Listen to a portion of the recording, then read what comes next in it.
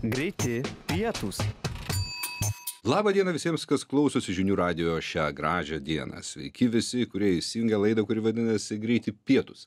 Šiandieną mano studijoje yra viešne, kurios plaukų žara akina bet ką, kas čia įeitų. Tai išaiškingiausių plaukų savininkė Lietuvoje ir labai gražaus balso savininkė, viena geriausių Lietuvos dainininkių, labai mielas žmogus ir mano draugė Erika Jennings. Labas, Erika. Labas, Algi.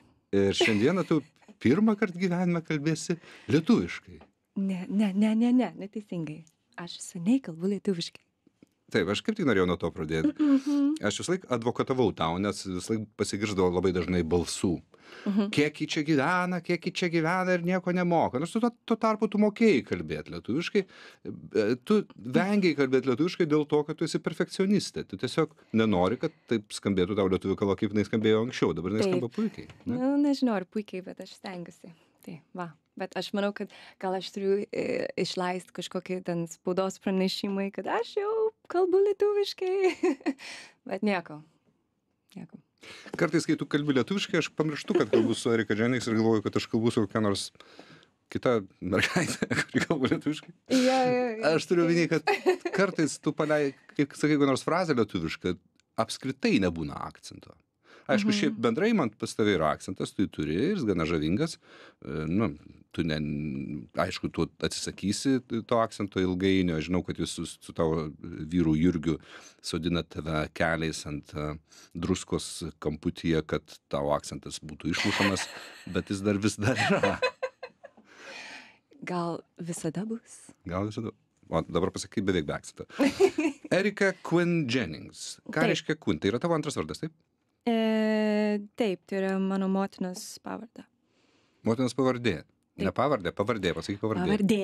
O, matai, kaip gražiai. Ir jūs, gerbiama Erika, esat gimusi prieš Falklandų karą.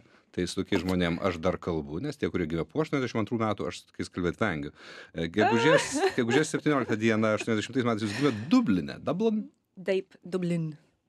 Ir jūs tituluojama airių kilmės Lietuvos dainininkė Wikipedijoje. Kaip jūs pati jaučiatės? Kas jūs esat? Kas? Jo, kas jūs esat po šiandien? Jūs Lietuvoje kiek jau metų gyvenat? A. Ah, Aš manau, kad um, aš nejaučiu kaip e, lietuvaitė, tikrai ne, aš visą laiką jaučiuosi kaip iš Airijos, bet, bet e, Lietuvoje jau yra kaip mano namų. Kaip, kaip jūsų namai? Lietuva jums yra jau jūs, jūsų namai. Kada jūs atvažiavote į Lietuvą, Erika? E, prieš 17 metų? Jums buvo tada kokie du metukai. Jau. Taip, tikrai taip. Gerai, prieš 17 metų laikas labai greit bėga. Aš atsimenu, jūs atsiradot Lietuvoje ir buvo ta bomba, ta bombikė, kurią jūs suskėlėt su grupės Camp. Taip. Jūs iš karto tapot populiarūs, ar buvo ilgas kelias studijai? E, tai buvo porą metų. Nes Mhm. mes, žinai, nuėjom per visos radijos ir per visos e, leidybos kompanijos. Ir nieks nenorėjo mūsų išleisti, nes e, mes sumaišėm kalbom ir tokius e, ir stiliui, tai, tai buvo kažkas naujo ir visi bijo, aišku, kas yra naujo. Tai mums reikėjo porą metų, Mhm. iš tikrųjų. Bet tada po truputį, po truputį. Ir tada išleisim, buvo summertime. Summertime. Bet mes labai jauni buvom. Mhm. Nes aš tik tai tada buvau 18 metų. Buvot gera pienburnė. Ne, aš juokauju. Žinau, kas yra pienburnis? e, ne. Ja, jaunas žmogus iš Airijos. Gerai, e, jūsų grupė, Bad man. jūsų, pirmas hitas ir buvo, ne, Summertime. Ir, ir jūs kaltino tada, Taip, taip, ir jūs kaltino tada plagiato, nors jūs aiškiai pasakėt, kad čia yra Džordžo Gershino muzika ir tai yra coveris, nieko blogo tame nėra. Ne, jo, mes samplimėm iš Garšvino, Mhm. tą predinį Taip. ir, ir sumaišėm su naujų versijų. Tai yra kaip covers, jo. Mhm. O ką? Gerai, jūsų, gru, jūsų grupėje, Ką tu nori pasakyti? ka, ka, ka, kas jūsų grupėje yra lyderis? Viktoras Devara, jūs ar e, Vilius Salesis? Nu, Viktoras yra kompozitorius mūsų, tai, žinai, jisai visos muzikos e, daro, tai, bet mes visi trys esam nu, kartu, nėra pagrindinis lyderis, sakyčiau. Mhm. Nesustokit, nes jūs kai sustojat, atrodo, kad dangus griūva. E, o pas jūs buvo romantiškų dalykų grupėje? Nes grupėje dažniausiai, jeigu yra mergina ir du vaikinai, tai vadinasi uh, Love Triangle.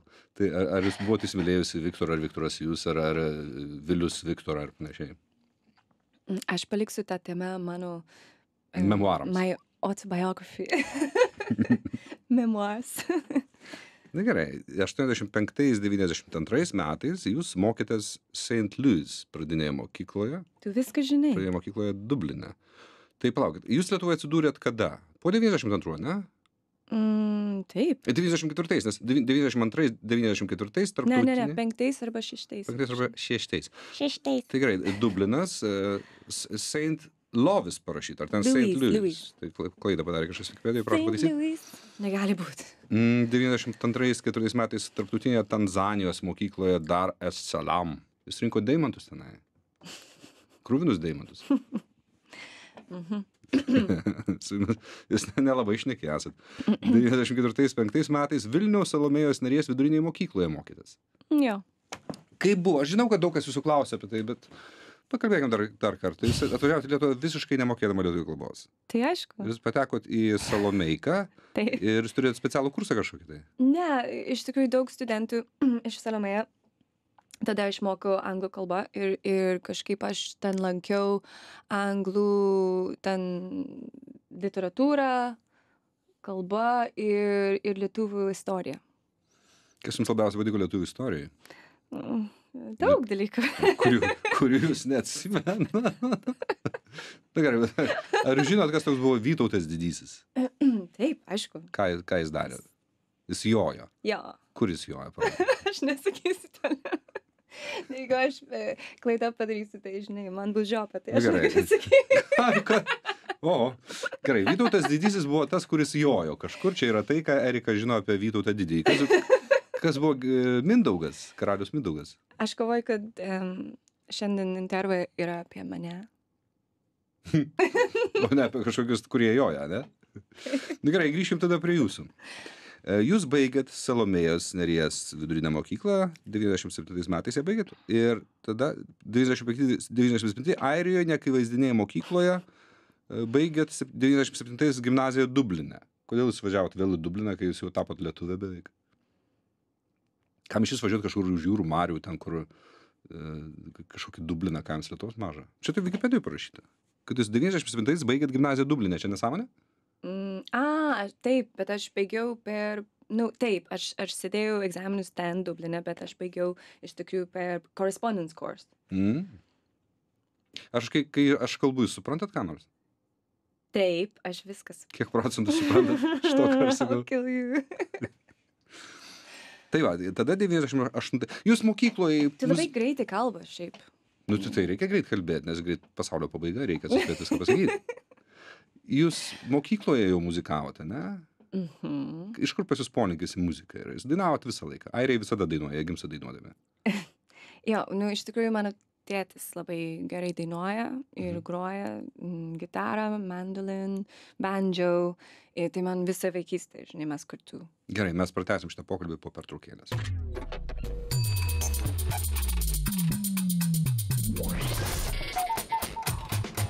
Greiti pietūs.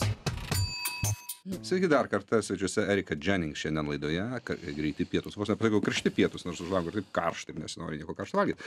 Gerai, tai jūs, kokiais instrumentais jūsų tėtis grojo gitarą, mandoliną ir panašiai, jūs mu- muzikinė šeima. Visi airiai yra muzikinė šeima. Mm, galim taip sakyti, taip. Žinote, aš jums papasakosiu vieną istoriją. Mhm. E, Mane pasamdė vesti vestuvės. E, Lietuvė ištekėjo už airio. Tai vyko vienam Lietuviš, Lietuvos mie- miestų. Mhm. Ir tai buvo airiška publika, lietuviška publika. Ir mes lietuviai laikom save baisiai gerai dainuojančiais. Mhm. Mhm. Ir, ir tai buvo įdomu stebėti.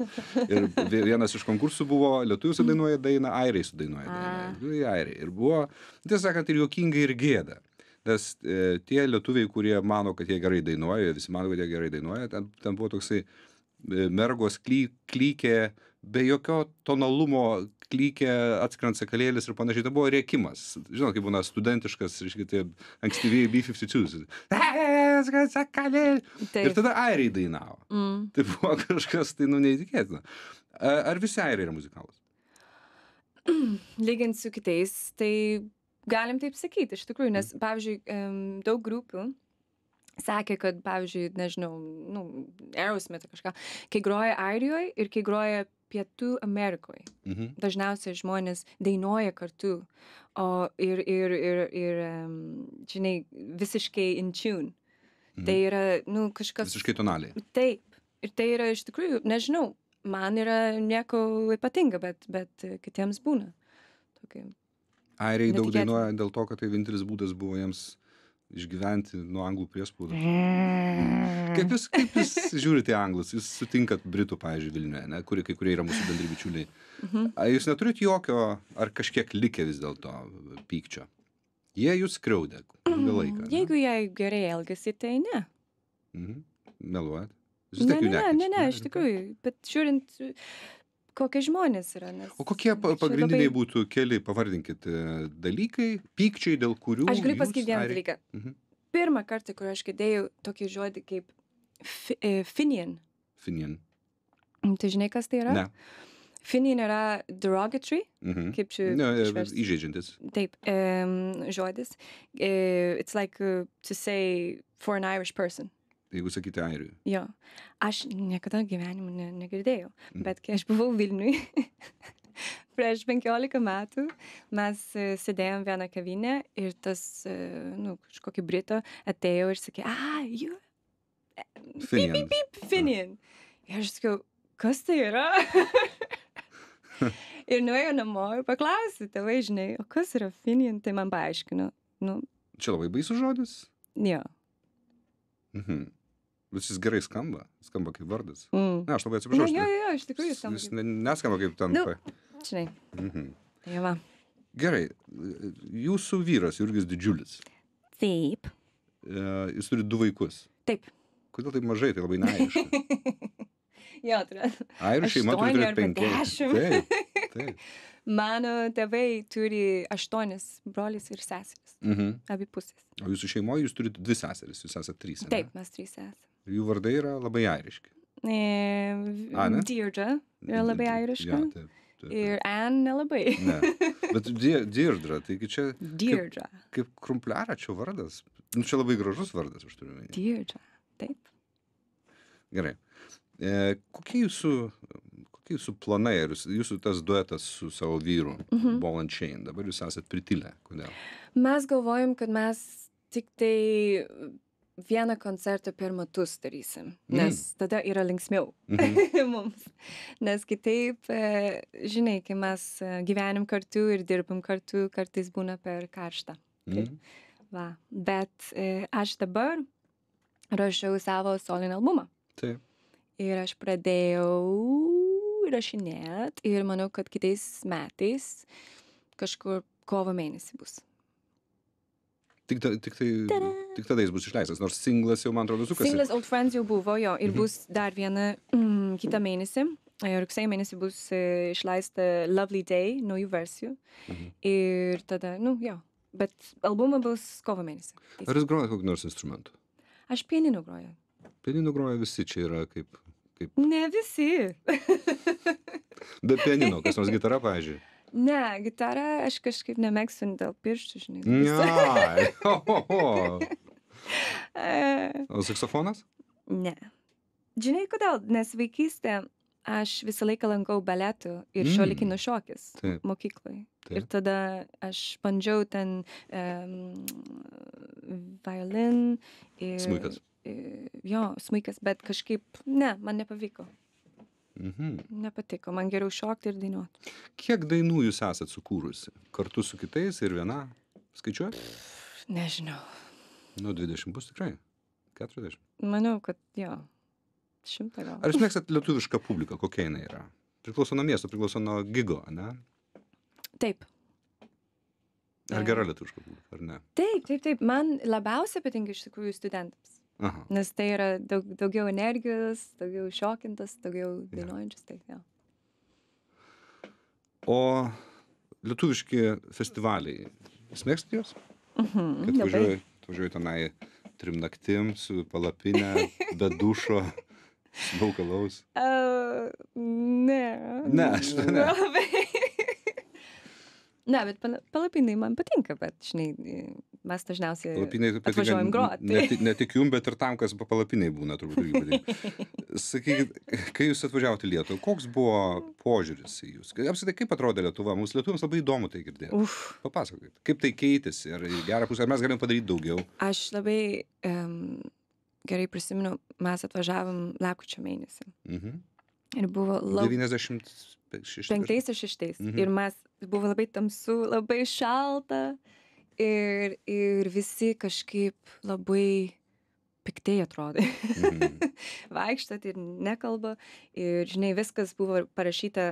E, ir tai laikai, iš tikrųjų, žmonės kalbat arba, arba nu, lietuviškai, aišku, arba rusiškai, arba e, vokiškai. Mhm.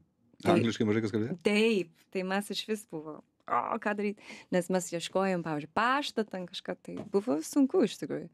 Tai, bet, e, bet tada mes sužinojom, kad iš tikrųjų lietuviai yra mm, tos rezervuotas, mhm. bet e, turi labai gerą širdį. Ir- Rimtai. Taip, taip, iš tikrųjų. Ko Ir mes daug ką turim, žinai, Mhm. panašų, panašumo. Daug panašumų turim. Taip, tikrai turim. Na gerai, pati pirma diena jūs apsistojot, iš karto jūsų tėtis gavo mm, apartamentus kažkur, ne? Ne, mes gyvenam viešbutė. Mhm. Porą mėnesių ieškojom. Čia visą tai buto. buvo dėl to, kad jūsų tėtis dirbo kažkokioj sferoje, kur, dėl kurios jis važinėjo. Jo, po- dėl Europos Sąjunga, Mhm. accession Taip. countries. Tai va. Ir jūs gyvenot viešbutį kaip ilgai? Porą mėnesių. Čia buvo pirmas kartas, kai jūs gyvenime gavot normaliai pavalgyti, ne? Aš paskambinsiu mano mama, pasakysiu viską. Jūsų sesuo, jūsų, jūsų sesuo Ann turi restoraną, ne? Taip, Ir jūs ten gaunat pavalgyti. geriausiai mėgstu. Gerai, dabar kaip keitėsi Lietuva? E, Ar, aš, aš turiu keletą pažįstamų, kurie sako, pažįstamų nelietuvių, kurie sako, aš negaliu vertinti Lietuvos dėl to, kad aš pats sulietuvėjau. Aš pats jau pusiau lietuvis esu, nu, kaip Lietuvos gyventojas. Ar jūs nejaučiate to pa- paties? Ne, ta, ne ta prasme, kad etniškai, bet kultūriškai. Jūs, pavyzdžiui, išspjaunat kramtomą gumą ant šalygas. Ne. Tai reiškia, jūs jau lietuvė. Ne, bet aš jaučiu tos, tos e, atsakomybės, kai, kai žmonės iš kitur, žinai, sakė, a, čia reikia kitaip daryti, ne taip, ne taip, ne taip. Tada aš visą laiką kaip stovai už Lietuvą, žinai. Nes Mm. mm. man, aš turiu to, nežinau kodėl, gal dėl to, kad aš ilgai čia gyvenu. Bet e, visiškai pasikeitė. Ir toks kaip dienas ir naktį. Jūs neįsivaizduojat savo gyvenimo kur nors kitur, jūs jau čia įleido tinkarą, ne? Ne, aš labai mėgstu keliauti, tai Mhm. ne, nežinau, kaip bus ateitis, bet žiūrėsim. Jūs kasmet važiuojat į... Bet aš manau, kad. Lietuvoje yra labai gera vieta gyventi, iš tikrųjų. Vilnius ypač, ne? Taip, taip. Kur mes dar rasim ES sostinę, kur iš vieno miesto galo tu at- atsirandi oro uoste per septynias minutės. Mhm. Taip nebūna. Taip nebūna. Gerai, kur jūs gyvena dabar? Vilniui. Jo, bet kurioje vietoje. Nesakysiu. Pasakykit, Senamesti. se, senemiestį. Jūs turit gana nemažą būtą ir ten puikiai telpa jūsų... Kiek tu, tu žinai? Aš esu ten ne vieną kartą buvęs. jo, jo, mėgau. Aš jums dariau remontą, ar jūs Ant pamiršot? sofos. Taip, taip, taip, taip. Ir jūs turit vidinį kiemą, kuriame socializuojate su kaimynais ir, e, Mhm. ir žaidžia vaikai. Taip, taip. Labai daug vaikų pas mus iš tikrųjų. Airijoje taip niekada neįvyktų, ten viskas labai brangu žemė, ten žmonės neturi širdies ir... Eik, tu. A, ar, aš suklydau? Nešnekėk nesąmonę. Gerai, atsiprašau. uh, tai sakot, pradžioje Lietuvoje žmonės buvo šalti, rezervuoti ir po to... Nu, taip atrodo, Mhm. žinai. Gerai, mes padarom nedidelę pertraukėlę, po kurios mes būtinai grįšim į studiją, kol kas pasiklausykim žinių.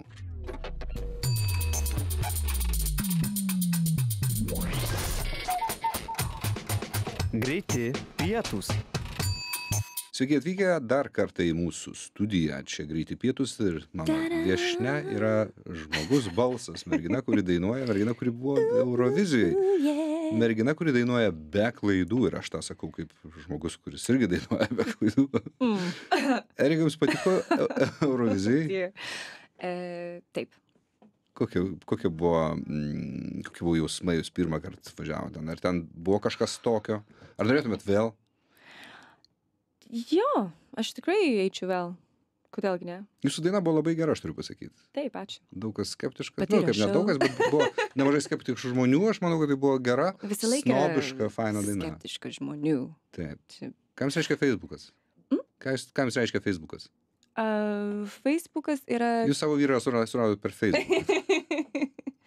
taip, taip, taip. Uh, jo, ne. E, gal Eurovizija? Kiek, lai, ne, ne, kiek, kiek jūs laiko praleidžiat Facebook'e per dieną? Visą dieną, ne?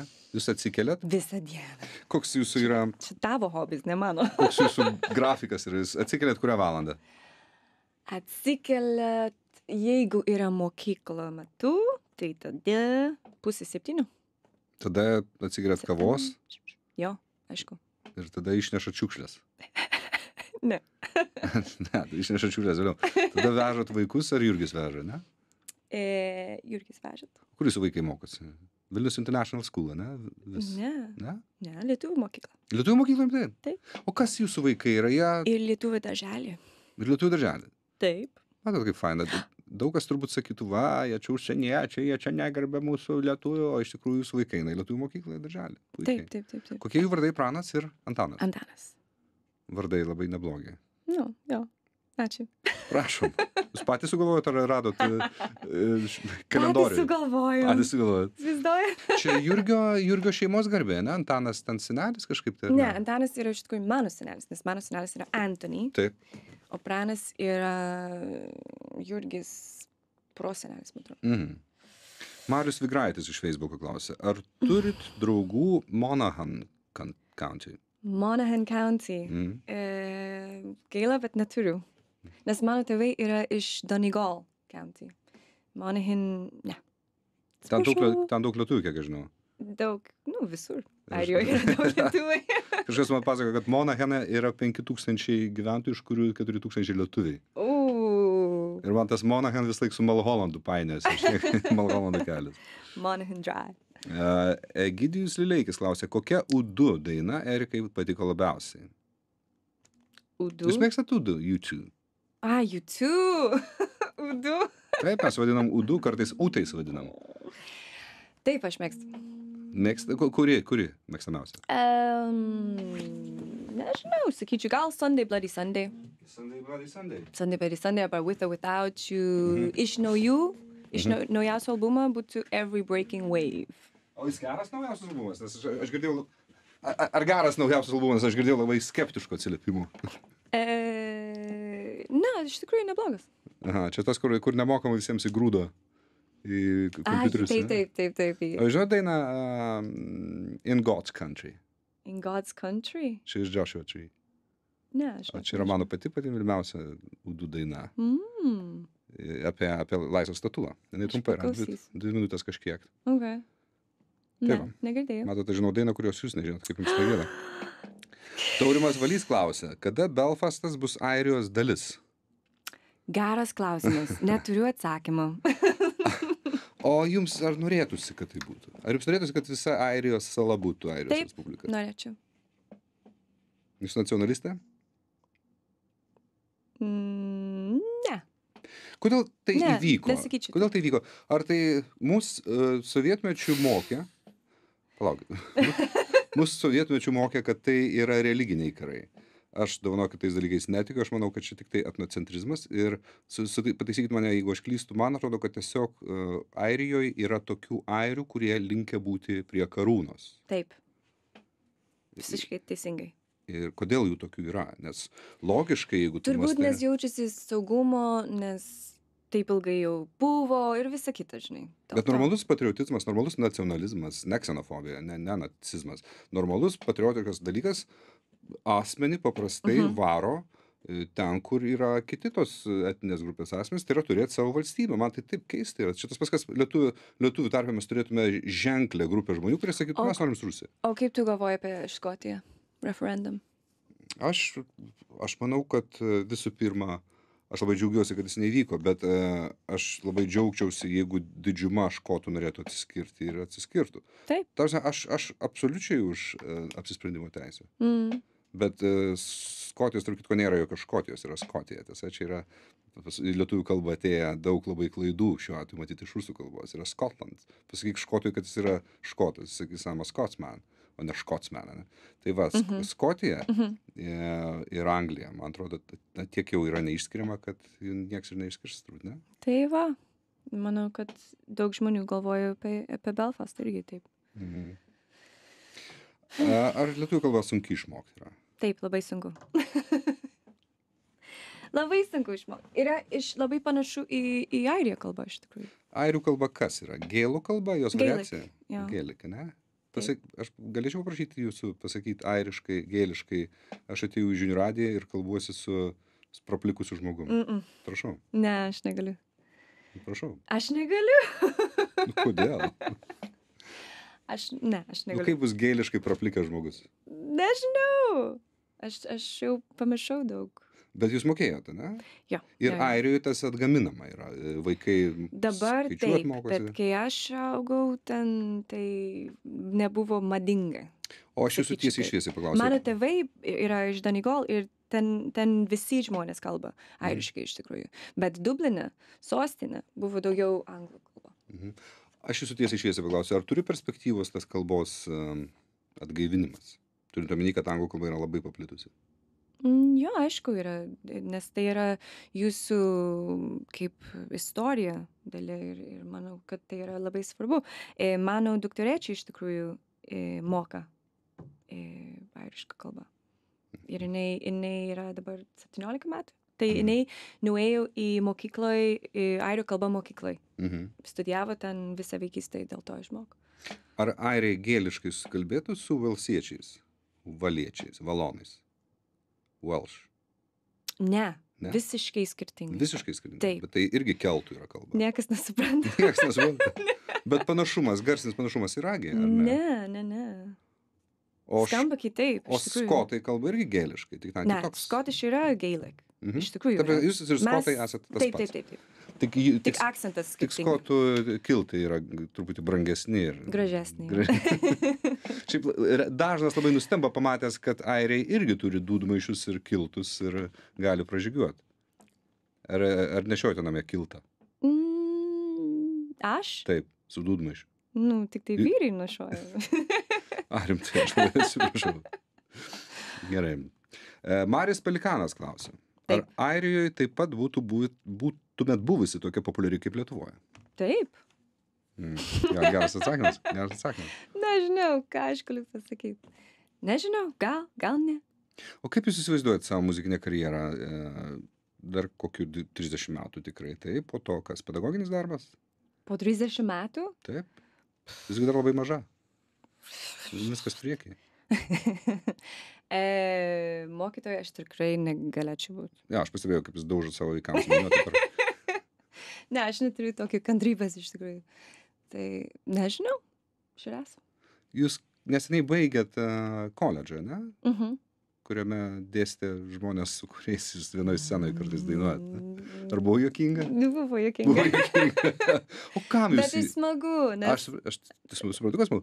Bet Jo. kam jums to reikėjo? Tiesiog uh, Ne, aš baigiau, aš baigiau muzikinis teatras. Mhm. Tai aš išmokau klasikinį dainavimą Mhm. iš labai gero mokytojo, Dalį Babilaitę. Ir aš daug ką išmokau iš tikrųjų dėl kvepavimo, dėl viso kito. Ir tada aš lankiau ir vaidybą, ir šokį, ten baletų, šiuolaikinių, ir senos kalba ir taip toliau. Tai yra labai naudinga. Aš manau, kad visą gyvenimą galim išmokti. Tu irgi. Atsimint, kaip jūs lankėt muzikos pamokas pas mane dainavimo, kaip jūs iš pradžių nieko nesigaudavo, po to gaudus. Ar e, Ed Kaus klausia, ar vis dar mėgstat repuoti kaip ankstyvaisiais kamp laikais? Uf, mūsų mėgstamiausia tema. Rap music. Taip. Uh, jo, aš mėgstu, aišku. Mm, taip. Erika, jūsų politinės pažiūros kokios yra? Jūs esat e, centro kairė? E, Liberalė, liberalė? Liberalė. Liberalė. Mm. Už ką jūs balsavote Vilniaus me- merų rinkimuose? Mm, š- š- š- Žmogus su, su, su, su, su paukšteliu ant pavardės. Jo, jo. O ką, ka- kaip jums, ar negaila jums buvo žaliojo tilto skulptūrų? Ne, negaila. Rimtai. Mm, jo. Jums jos estetiškai nebuvo pridūšios? Ne, Na gerai. čia mano Ne. skonika. Ar ir labai įdomus klausimas. Tomas Adamonis klausė klausimo, kurį mes paviešinsim iškart po pertraukėlės. Petrokėlė.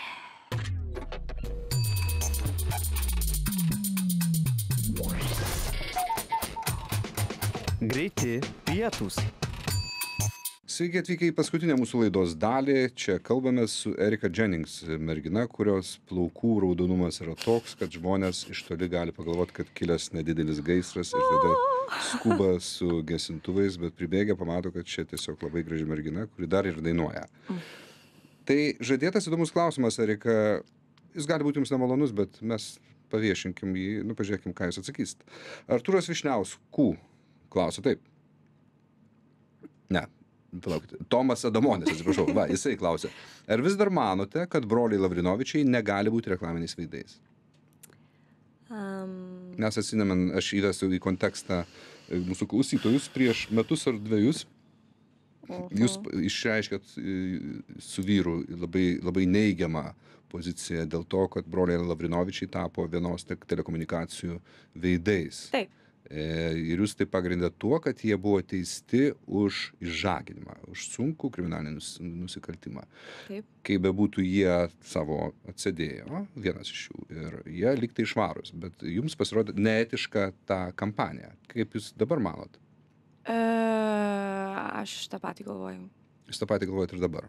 Jo, nes um, šiaip mūsų problema buvo su ta kompanija, ta telekomunikacijų kompanija. Mhm. Nes, Na, ką čia slėpti, tai buvo bitė tiesiog gerai. taip, Mhm. nes, e, aš, nes mes buvom klientus. Tai, Buvot klientais Taip, jų. klientais. Tai aš galvoju, kad jeigu e, mano, jeigu aš esu klientė ir aš galvoju, kad kažkas yra neteisingai, tai aš turiu teisę pasakyti. Ir mes taip ir. Jūs gavot labai, labai didelį šaltą dušą. Aš atsimenu, jūs buvo tikrai nepiraga, nes daug kas jūs užsipuolė. Lietuvo krepšinio šalis ir e, labai daug kam tas nepatiko. Aš tiesą sakant, aš jums prisipažinsiu, kad aš jūs palaikiau toje vietoje ir aš manau, kad jūs padarėte teisingai.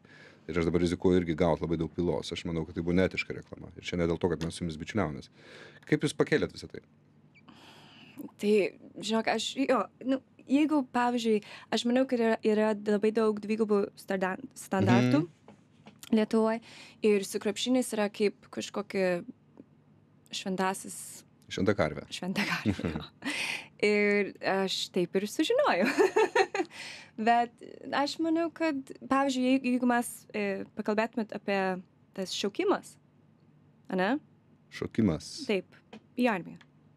Šaukimas, taip, taip, taip. Šaukimas, Konskripcija. Taip. Tai yra taip, kad, kad pavyzdžiui, Natalija Bunkė sakė, Taip. taip. kad jinai nenorėtų, kad Mhm. savo vyras eitų ir jinai darys, darys viską, ką taip, taip, taip, toliau. Ir visi į, puolė. Žinai, dėl Visi jie puolė. Taip, taip. Na, ne visi, bet daug kas. taip. Bet irgi Sabonis tą patį pasako apie savo sūnus. Tai sakė, aš nenorėčiau, kad mano sūnus eitų, aš darysiu viską. Niekas nieko nesako. Tai Dvigubi standartai. Labai Taip. negerai. taip. Tas yra labai, labai negerai. Pas manęs toliau gyvenime viskas gerai. O jūs uh, nesat kontaktavęs su broliais Lavrinovičiais po to? Mm, ne. Nes jie kažkaip liktai išreiškia tokį nustebimą, tokį neagresyviai. Kaip aš sakiau, mes neturėjom problemų su, su, su Lavanovičiai, mes turėjom problemų su tą telekomunikacijos kompanijos, kaip, mm. kaip klientais. Viskas. Okay. Jei dabar Artūras Višniauskų klausė, jeigu dabar grįžtumėt laiku atgal ir būtų tokia utopija, kad galėtumėt arba groti su skampais, arba dainuoti su Jurgiu, ką pasirinktumėt? Aš padaryčiau solinį albumą. Ką jūs ir darote? Čia nežinau, negaliu atsakyti tą klausimą, nes iš tikrųjų nežinau. Vaidas Leškus, jūs išsisukot nuo atsakymo. Vaidas Leškus klausė, tai kur toliau? Iš esmės mes jau apie tai kalbėjome, bet Taip. aš vis dar kartą noriu prispausti. Tai kas toliau? Gerai, na žiūrėkit, jūs esat jauna, graži, gerai dainuojanti moteris, Oi, oi, turite puikią, puikią šeimą, Mhm. e, turite net šunį.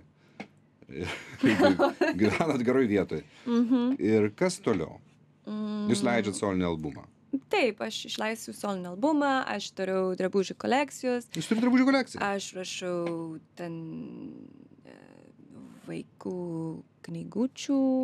Re- Rengiat vaikų knygas, taip? Ir tai aš labai daug dalykų mėgstu daryti. E, tai aš nežinau, kas toliau. Nu, pirmiausia, reikia solinį albumą išleisti. Tada pamatysim. o jūs būtumėt prieš jeigu jūsų berniukai kai jie paaugs būtų pa- pakviesti lietuvos kariuomenę Aš. Ne. Ne. nebūtumėt Ne, aš, ne, ne, aš manau, kad tai yra, jeigu yra šeši mėnesiai, aš manau, kad čia nieko blogo iš tikrųjų. Devyni mėnesiai ar kiek tai yra. Aš nemanau, kad tai yra blogas dalykas, bet aš manau, kad moteriams irgi reikia eiti. kad moteriams irgi reikia eit Taip, aš su jumis absoliučiai visiškai šimtu procentų sutinku tai va, matai. Eitų, jeigu jūs būtumėt lietuvos pilietė ir jums būtų dabar kokių 19 metų jūs eitumėt Be abejo. rimtai ne Taip. tai labai aš labai labai žaviuosi jumis aš jums galiu paskolinti šautuvą Sergiai. Um, grįžkim prie, prie uh, jūsų politinių pažiūrų. Jūs buvot uh, aiški uh, elektrinės, atominės elektrinės statymo priešininkė kartu su Andriu Mamontu ir panašiai. Ar jis nepasikeitė jūsų požiūris? Ne, nepasikeitė. Ne, o skalūnų gavimą, išgavimą? Ne, skalūnų? aš, mes, aš šiaip galvoju, kad tai yra labai senas e, Technologija? technologija ir po 20-30 metų tikrai atsiras kitų e, atvejų ir, ir manau, kad Kitų galimybių. kitų Mhm. galimybių ir reikia ten. Ne, ne į praeitais, bet į Hmm. ateitį. Gerai, gerai. O sakykit, kaip jūs žiūrite į konfliktą Ukrainoje? Uf. Mm. Turiu sauresnį klausimą. Kaip jūs manot, kuo tai baigsis ir kada baigsis? Aš labai bijau dėl Putino iš tikrųjų. Mhm. jeigu aš atvirai pasakyčiau. Nes aš manau, kad jisai yra toks crazy e, keistuolis. ir aš manau, kad jis yra i, i, labai pavojingas žmogaus, nes iš tikrųjų manau, kad jisai nori palikti legacy. Palikimą. Po savęs Palikim- kažką. Taip. Ir tai yra labai pavojingas dalykas. Jis jau paėmė Krymą ir tai yra vienas iš jo, iš jo palikimų. Diktatoriai nori įsiamžinti. Ja. Lukašenka pastatė didžiulę biblioteką, kas nėra blogai. Brazauskas pastatė didžiulį namą prie katedros, kas irgi nėra blogai. o Putinas pasiėmė Krymą. Ne, nesėmė, paėmė jį tiesiog. Paėmėt jo. Ir pakalbėkime labai romantišką dalyką. Kaip jūs papasakot, kiek galit pasakot, kaip jūs pažinot su Jurgiu ir kaip jūs pamilot vienas kitą? Uf. Mes sutikom e, iš tikrųjų labai seniai, prieš gal 13 metų, Taip. vieną klubę. Vienam klube. Mhm. Jisai. Ir jūs buvot be, be filmo? Jo ką. Ir, ir ir e, jisai man, em, nu jo, pradėjo kalbėti, sakė, tu nori ka- kažką išgerti, aš sakau, taip, tada išnuėjau ir negrįžau. negrįžo. Ir negrįžo, ačiū Dievui, nes, nes buvo kitoks žmogaus tada. Bet po trijų metų mes vėl sutikom kažkur apdovanojimai, ten balius kažkas taip ir, ir pradėjom bendrauti. Kaip papasakot, kaip jūs pakvietė jūs pasimatymą ir ką jūs Taip. valgėte tada? Taip, taip, Ką jūs tada Aš valgėt? nesakysiu. Pasakykit. Aš tik tai vieną dalyką pasakysiu, kad tai buvo neringoje restoranai. Neringos restorane? Taip, Tai tai mes aiškiai, turim to- valgėt Kievo Ilgą istoriją. Kotletus valgėt? Kiek suvalgėt? Penkis. Aš nesakysiu. Airiai daug valgo. Aš? Airiai daug valgo, ne? Kievo kotletai? Taip. Ne. Bet jūs prisigėrėte laus tada, ne? Airiško. Gineso. Neprisimenu. Ten nebūna, man atrodo. Aš Nežinau. neprisimenu. O sakyt, Gineso alus, kodėl jį kai kurie žmonės mėgsta, juk jo neįmanoma gerti. aš aišku, juokauju, aš atsiprašau. Aš iš tikrųjų ne, nežinau, nes aš irgi ne, daug negaliu gerti iš ginuso. Ten maža, maža, truputėlį. Tengi ten net stiprus yra, Ten azotas yra, ne? ten net neangliarūkštė. Man, ta prasme, to- ta- tas, kuo jisai prisodrintas, yra ne angliarūkštė. Yra azotas. E, Gali būti. Aš taip ilgai sakiau tai tik tai tam, kad išgirščiau trumpą gali būt. Man pasakojo vienas bičiulis, kuris ats- atsidūręs Airijoje, Taip. dirbo apsauginiu kurį laiką. Mhm. E, Čia nėra paslaptis, čia yra grupės Airija e, e, vadovas. Taip, taip, taip. Jis pasakojo, kad labai labai juokingi vaizdai būdavo, kai airės merginos Dubline e, prisigeria to, reiškia, to savo gineso, pris, prisivalgo ir 12 val. jau visos mušasi ir tuština savo skrandžius. Ir sakė ir tu nebandyk ten įsivelti jų tvarkyt nes taip gausi atgal kad čia baisiausias dalykas Taip, taip. jūs tikrai ne tokia erika ne Ne, baigti, aš labai nemėgstu tokius dalykus. erika yra labai švelni nieko nemušanti gerai dainuojanti pavyzdinga dviejų vaikų mama mylinti žmona ir mano gera draugė ir aš labai dėkingas erika jums kad jūs atėjot pas mūsų laidą Labai ačiū. aš jums linkiu geros likusios vasaros ir išmokti lietuviškai kalbėti bet dar Dar geriau. akcentų. ačiū visiems kas klausė čia buvo erika dženings ir algis ramanauskas ate Čia žinių radijas. Likite su mumis.